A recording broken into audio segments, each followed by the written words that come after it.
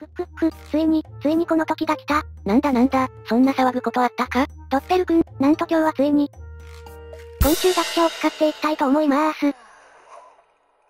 え？今さらいや誰だお前。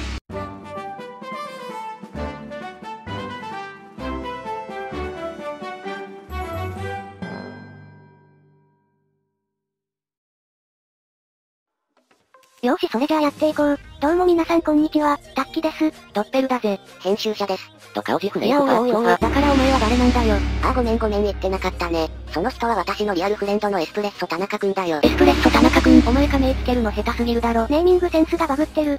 てお、ハンター来てんじゃん。一旦エスプレッソ田中くんは置いといてチェイスするよ。クジラがひどくて置いてけねえわ。ここら辺に虫を出しておこう。昆虫学者の虫にはハンターの足を遅くする効果があるよお。前もお前で普通に話してんじゃねえよ。今回はいろいろあって僕も普通に話すからよろしく。絶対めんどくさい。ハンター追ってきてる感じしないな。一応逃げるけど。はいここで窓に注目。昆虫学者が乗り越えた窓や板には蜜が塗られ、蜜が塗られたとこは全サバの乗り越えが早くなるよ。おハンターとすれ違った。と、どうやら別の人を追うっぽいな。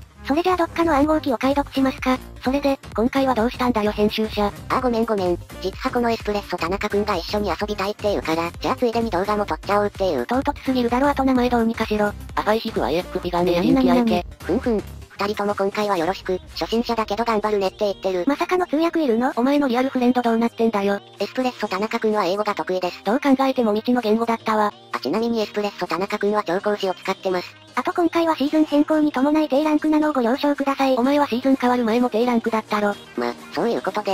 はあ、あそうだまだ聞きたいことがあった。タッキ、なんで今更昆虫学者なんて使うんだ。あ、それはただのネタ切れだから気にしないで。気にするは大問題じゃねえか。さてそんなこんなで今はエスプレッソ田中くんじゃない方の調香師が追われてるね。ガジフガジヒエドフフィア。ふんふん。僕が肉壁してチェイスを伸ばすだって。対話がいちいち不便すぎる。おでも香水肉壁してくれたよ。まあレオは釣られるとめんどくさいからナイスだな。ジョジファイマンクッチサバはケジ。タゲチェンしたからこのままチェイスするって。あちょ待ってミスったてミスったてミスった。え、エスプレッソ田中くん。恐怖の一撃食らってんじゃん。っていうか今普通に喋ってたよね。今ミスったって言ってたよね。なんということだ。エスプレッソ田中くんがやられた。あとさっきからエスプレッソ田中くん長いんだよ。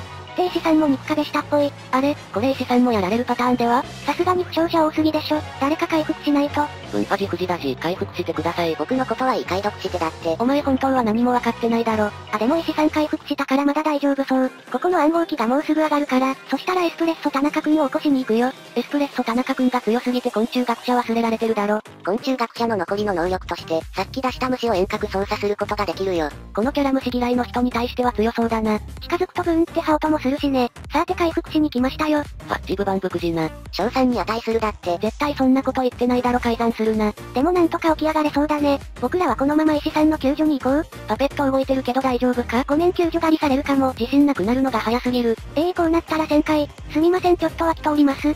殴られた加速で横を抜けた。一応虫も置いとくよ。虫には当たり判定があるからこういう使い方もあるね。ただ殴られると耐久値が減っていくから、隙を見て回収しておかないとすぐなくなるよ。逆に言うと置いとくだけなら耐久は減らないよ。好きな場所に足を遅くできるゾーンを置けるのは強いな。よしまいた、このまま解読と立て直ししますか？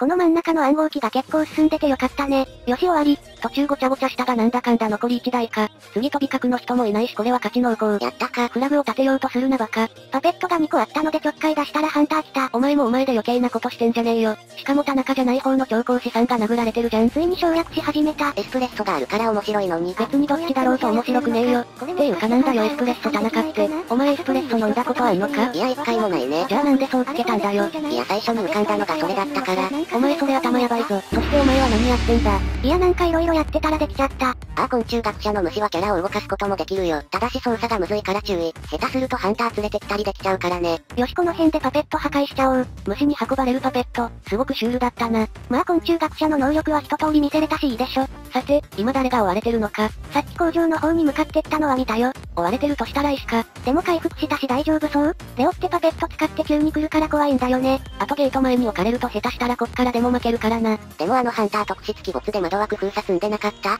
じゃあ人格左下なのかも。とすると裏向きカードはないかもしれん。あ、それで思い出したけど人格出しとかないと。オッケーここらで出しておくよ。そういうめたい話は裏でしてもらっていいですか？いや僕が出てる時点でもういいでしょ。なるほどじゃあまずはお前から消すか。ごめんなさい。あのお二人さん今チェイス中ですからね。もう残り1台だしここらでやられといたらちょうどいい感じにピンチになるよ。なんでどちらもやられることを勧めるんだよ。くそ、絶対逃げ切ってみせるかんな。許さないかんな。橋本かあんな。キモ今のはずるいだろ。とそんなバカなことやってる間に巻いたっぽいグブンじゃドブは恥。なんか巻き込まれたんだけど、だって、あ、まだいたのか。ごめんなさい忘れてました。ダジフンドジグフンドジフじゃ。まあその後合流して回復してもらうんだけど、めっちゃ優しいじゃんエスプレッソ田中。ただ現在全員負傷してるから気をつけてね。てかお前パペットすぐそこにあんじゃん。まあ誰かを割れてるっぽいし大丈夫でしょ。あ、回復ありがとうございました。バジフ分藤なじ。どういたしまして。よしじゃあこのパペットも壊しちゃうか。と思ったが通電したな。それならオッケー。向こうは任せて僕は逆に。あ待てよ。これハンター引きつけた方がいいか。ハンターこっちに来てるね。よしよし、これでラストチェイスしますか。聖石さん、石さんもこっちに来てたのか。あれ、なんかハンターずっとシュンシュン言ってない？え？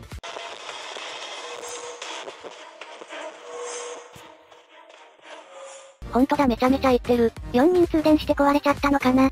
このランク帯ならありえるね。最後にチェイスで終わらせられなかったけどまあいっか。ほら石さんが稼いでくれてる間に逃げるぞ。爆無事フィジクド角動。あ、エスプレッソ田中くんが開けててくれてる。なんやかんやあったが普通にいい人？だったな。それじゃあ今回はこの辺で終わりにしますか。いつもより画面の圧迫感がやばいな。いやー今日は結構喋ったな満足満足。バフワフファジフブジハフ。最後にチャンネル登録お願いしますだって。絶対言ってねえーというわけで今回は昆虫学者を使っていきました。ハンターを動かすのめっちゃ楽しいのでぜひ使ってみてください。他にも強いとこはたくさんあるぞ。それじゃあ皆さんまた次回お会いしましょう。バイバーイ。またな。さようならあバフブフ人坊。